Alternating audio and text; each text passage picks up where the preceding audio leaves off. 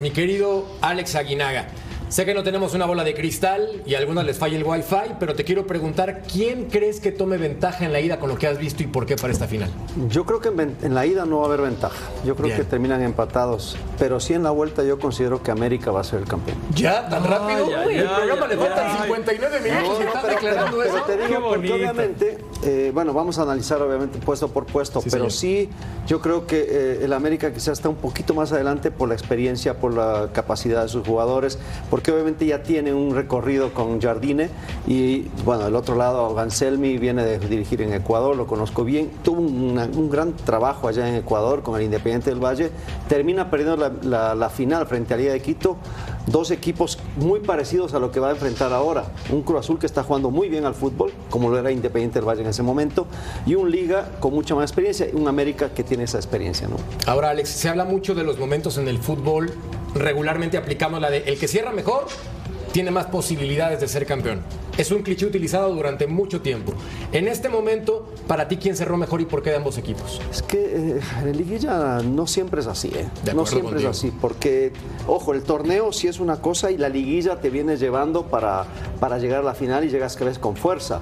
Hubo li- liguillas que nosotros nos llegábamos tan bien, en la de Celaya, por ejemplo, Celaya llegó mucho mejor que nosotros, sin embargo nosotros nos impusimos por experiencia, porque el, el torneo anterior lo habíamos hecho bien y esa parte fue la que nos, nos apoyó, nos ayudó.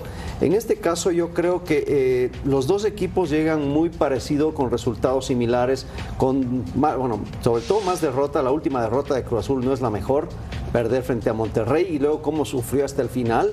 Y el América quizás con esa ventaja del gol todavía, lógicamente, todavía tenía dos goles de desventaja, ¿no? Entonces esa parte es, es importante pensar que podría llegar mejor el América que Cruz Azul en cuanto al último resultado, pero de ahí esa es una final. Russo, no te vi sonreír cuando dijo que el América iba a ser campeón. ¿Por qué?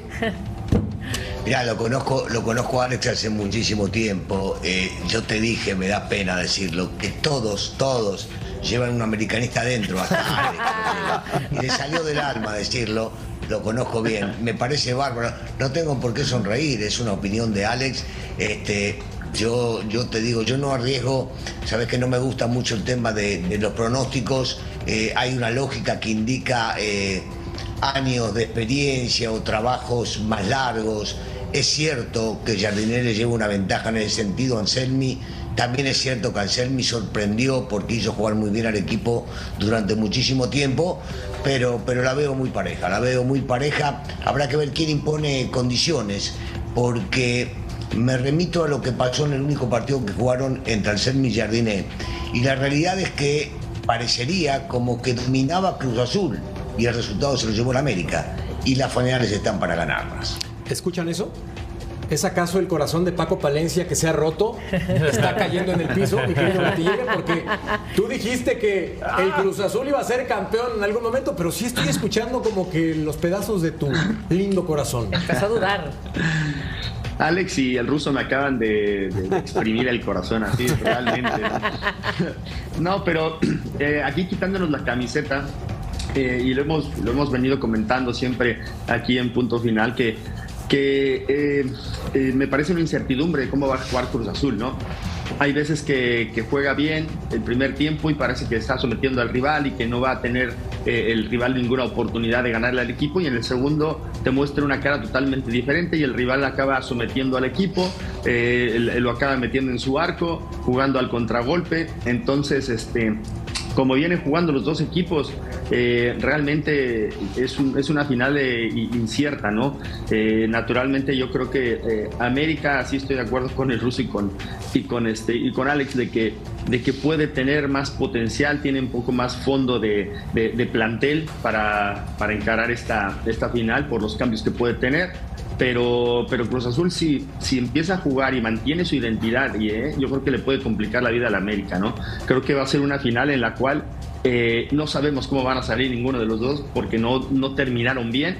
eh, no terminaron mal porque por momentos te dan esbozos de que juegan muy bien los dos equipos, pero por otro lado eh, te encuentras en algún momento del partido en el que los someten y, empiezan a sufrir, ¿no? Entonces, este, eh, mañana, mañana que empiece la, la, final hay que ver, hay que ver cómo salen los dos equipos, porque pues, como sabe Russo y como sabe Alex, las finales tienen su toque de, emoción y de nervio, ¿no? Y hay que saber manejar esa emoción y ese nervio para poder eh, rendir en, en, el partido, ¿no? Sobre todo en el contexto de esas finales que van a ser ya la quinta entre América y Cruz Azul. Para ver más, suscríbete al canal de Fox Deportes en YouTube.